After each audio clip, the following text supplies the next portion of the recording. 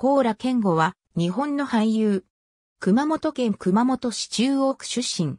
テンカラット所属。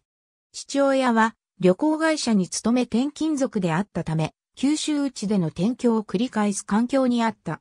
それについて反抗したり、少しだけ引きこもったことがある。熊本県の私立九州学院高等学校卒業。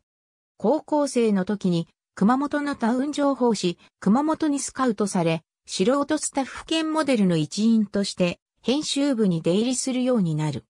当時から俳優業に興味があったため、それを知る同士の副編集長から東京都の芸能事務所の社長を紹介され、高校卒業とともに芸能界に入る。2005年、ドラマ、極戦、第2シリーズにて3年 D 組の不良生徒役を演じて俳優デビューし、2006年公開のハリオの夏で映画デビュー。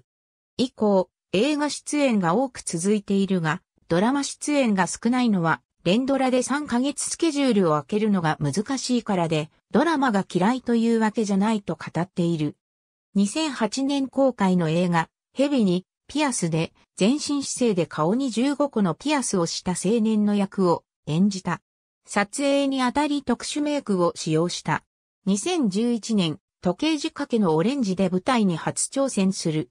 2013年、主演映画、王道、世之助で第56回ブルーリボン賞主演男優賞を受賞。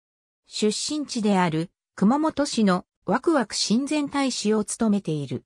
ありがとうございます。